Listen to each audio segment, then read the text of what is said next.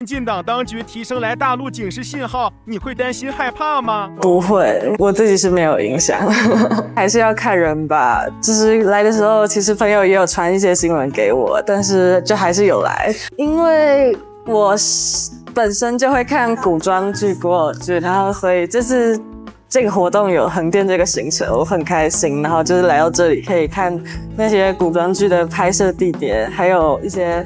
他们精致的服装道具，就是去踩点一些自己很喜欢的那几部古装剧的拍摄地点。最近就是在看《墨雨云间》，正在追。